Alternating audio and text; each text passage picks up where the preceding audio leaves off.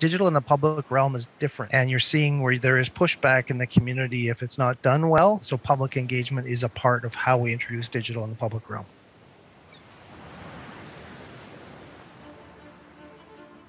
I'm the chief information officer. Our investments in technology over the years paid off in our ability to respond to covid. So be prepared but be resilient. Design for resilience. When stay-at-home order happened in ontario and in canada we pivoted. We were able to send all our staff and work from home securely that day. We had adopted laptop first mentality years ago uh, and mobility. So people basically just took their laptops home and connected securely. And we were up and running right away.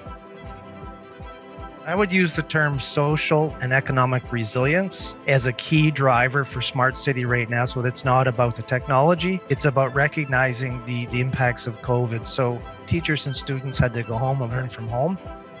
There's a segment of the population that does not have technology, they do not have broadband in their homes.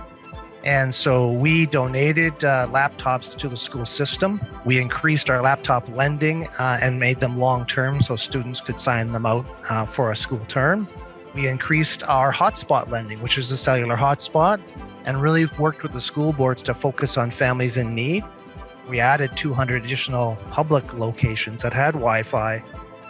We had people coming to us to say that they had lost contact with their family because the only option they had was in person. People were isolated and had no contact. So we created opportunity for them to connect with their families again.